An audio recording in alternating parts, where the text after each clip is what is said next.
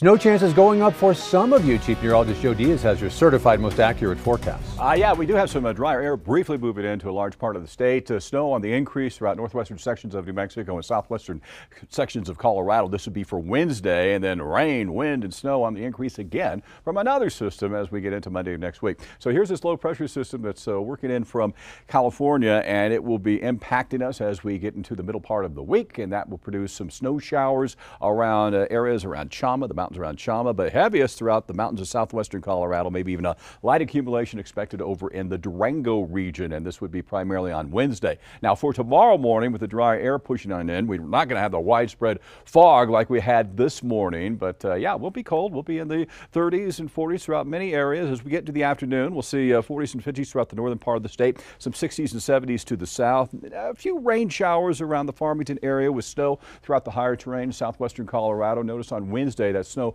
starts to pick up in those areas. And we'll also see a few rain showers try to pull up into parts of southeastern New Mexico. Now, this system quickly rolls on through as we get on into Thursday. And on Thursday, we're going to see uh, drier skies working in. We'll have cooler conditions working in. Uh, temperatures dropping to near normal levels here around the Albuquerque area. And then stronger winds across the eastern half of the state from that uh, departing system. Now, as we look at the changes over the uh, next seven days, you see temperatures in the 40s and 50s throughout Cortez, Durango, on into Farmington with some rain and snow mixes across the area. A little bit tomorrow, picking up with some rain and snow as we work on into Wednesday as well, and a stronger system toward the beginning of next week. All right, as we look at the southwest, you see temperatures in the 60s from uh, areas from Socorro down into Deming. A few rain showers around for Wednesday before dry skies work in for a while with increasing snow showers by Monday of next week. 60s to 70s southeastern parts of New Mexico. You could get a few rain showers showers pulled in the area before we dry out. Windy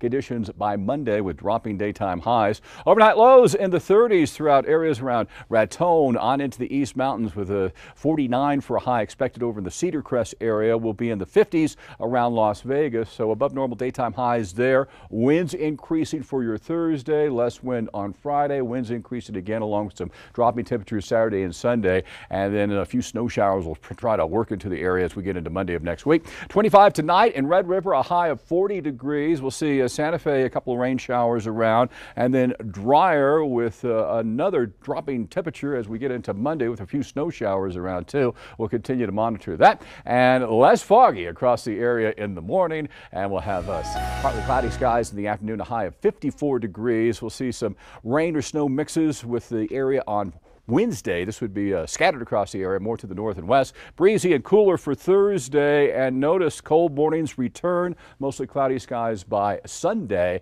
And again, so those rain and snow chances along with windy conditions by Monday of next week. So big turnaround with drier conditions for tomorrow, Shelley.